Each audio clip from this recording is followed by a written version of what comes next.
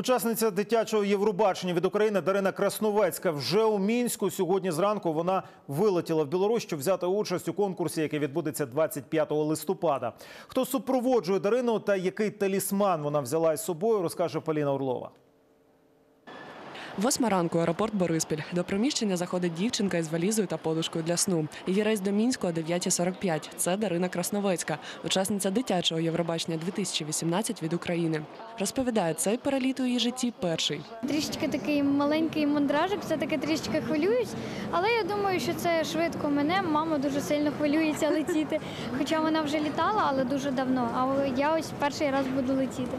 Каже, летить не лише з батьками, а ще й з особистим талісманом. Є талісман, це моя така маленька м'яка іграшка.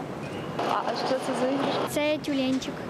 Разом із Дариною летить викладачка з вокалу, знімальна група національної телерадіокомпанії та співавтор пісні «Say Love», із якою виступатиме учасниця. Про роботу з дівчинкою вони розповідають так. Я е, їй завжди кажу, що просто зроби те, е, відчуй е, глядача, передай енергію, зроби те, що ти завжди робиш. От і все. Просто передати енергію, передати ті почуття, ті відчуття, що є в пісні. Вона відчуває не тільки цю пісню, вона відчуває взагалі життя.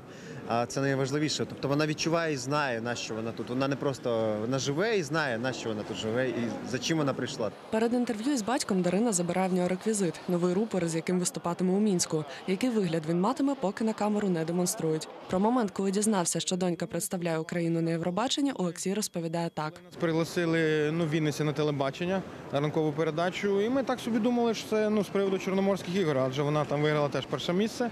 Ми приїхали, думали, що просто там ну, візьмуть інтерв'ю і так.